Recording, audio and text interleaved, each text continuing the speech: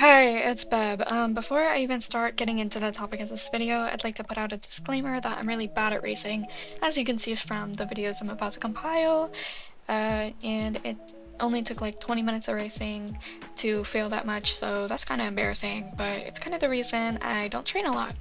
So this might not be the best footage to watch while I talk about what I want to talk about, but at least I'm showing you guys something because I didn't want you guys to be staring at a blank screen while I just go off and rant and whatever. So uh, please forgive me for my complete lack of skill. So anyways, I have a different mic so I don't really know if I'll sound different yet, but it should be at least a little bit more quiet and not so harsh from or for the ears.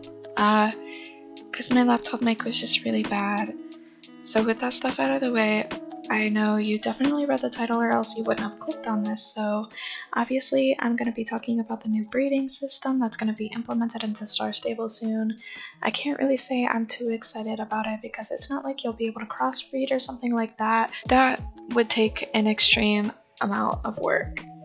I feel like if this feature is going to be in the game, Star Stable is going to make us pay a lot of money to use it. I don't want this feature in the game if it's going to take away the uniqueness of Star Stable, especially if they go the Alicia Online route with it.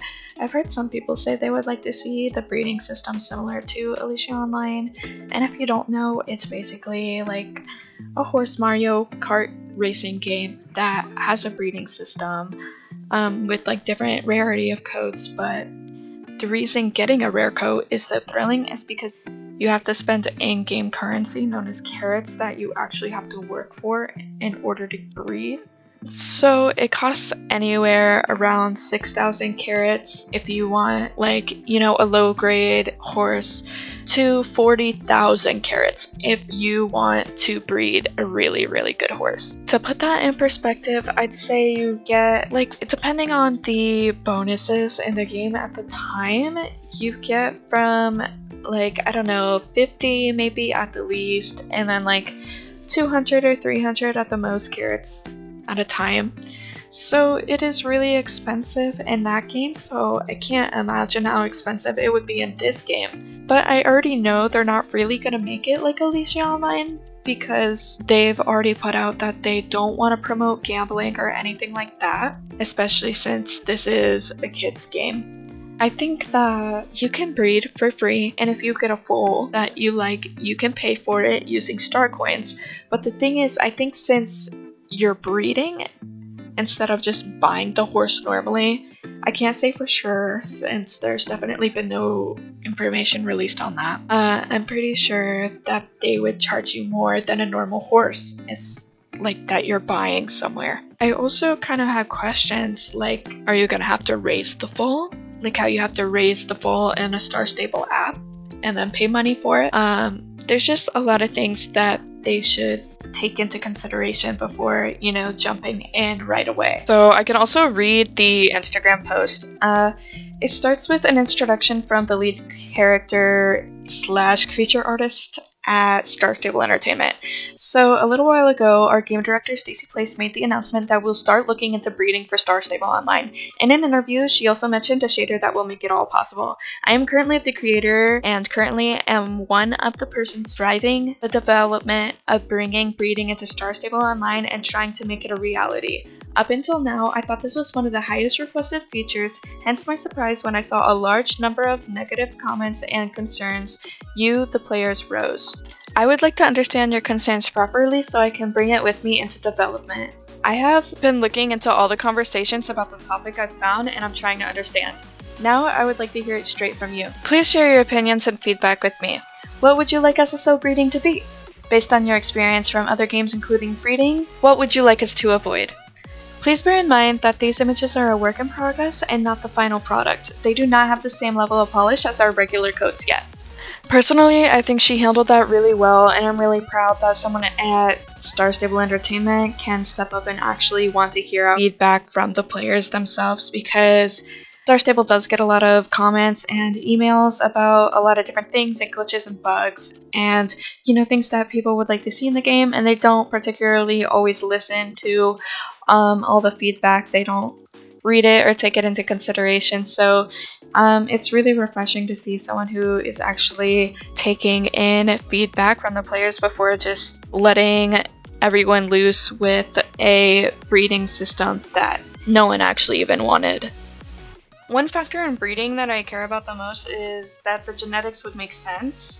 Without genetics that makes sense, it's like it wouldn't really even be fun if it just came out with like a random outcome. Uh, it would also be cool to make it like kind of educational for like a younger audience without rubbing it in their face. Like it would be cool if you could see the genes that the horses have, or like what alleles are paired together, or is the genotype heterozygous, homozygous, um, if I breed the offspring, what traits will show from the grandparents? Like, that would be a really cool way to show off a little bit of real biology in the game.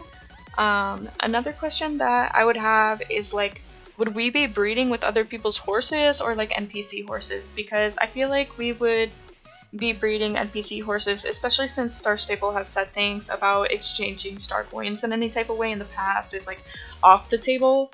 Um, having a way to exchange any type of currency in the game would give people the incentive to hack other people. So right now the only reason to hack anyone is to be mean because it wouldn't benefit the hacker's main account in any type of way. So it makes a lot of sense why they wouldn't want us to breed each other's horses for currency, but like maybe someone can put their horse up for breeding for free. I mean like, you know, just to be nice, but that doesn't seem very plausible.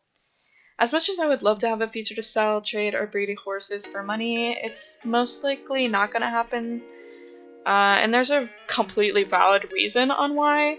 Um, like, for example, Animal Jam was a big example on how people would get hacked or scammed for their rare items, and it's understandable how Star Stable wouldn't want their game to undergo the chaos that Animal Jam did. I honestly hope that they'll just make it affordable because, as I mentioned earlier, I feel like they'll make us pay for a lot of money for the full, especially since we obtained the full from the special feature. If you have to raise the full yourself, I feel like it shouldn't cost as many star coins um, as like buying a regular horse because you have to put the work into it. So, I mean, it's only fair if you get it at like, you know, a discounted price depending on how much work. Maybe, I'm not really sure where I was going with that.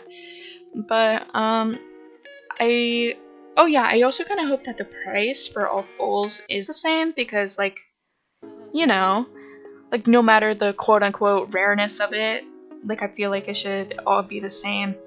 Um, I don't know if I'm the only one who thought of that or anything, but it just feels like something Star Stable would do. Like it's a genuine concern of mine that I'll get a, like a really nice foal that I have interest in, but then like I have to abort it or something because I don't have enough star coins to keep it. Wait, like that that got deep. I didn't mean like abort it. Like like not being able to keep it in your stable. uh anyways, uh it's been mentioned that RNG is going to be used in breeding, but like to what extent will it really be random?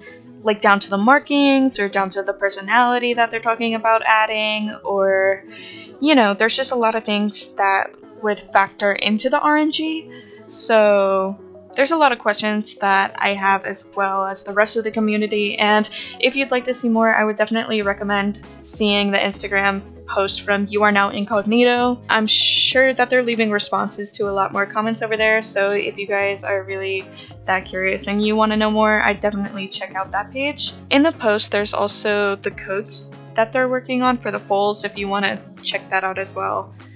Uh, one last question that I have that, you know, I just thought of. We are already expecting new characters, like people characters, and those are going to take a lot of work. Um, are they going to get tired of that project and just start working on the breeding system? Because those are two very, very large updates, and I feel like they should work on like work on them one at a time before even considering making a breeding system. Uh, we already know we have been wanting new characters for a long time, but you know, I don't really know what goes on over there, so I can't really say much. Anyways, I'm gonna wrap this up right here. Do you have any comments or criticism on what we know so far? Uh, I'd love to hear it, and so would Star Stable. Um, and yeah, that's pretty much it. So, bye!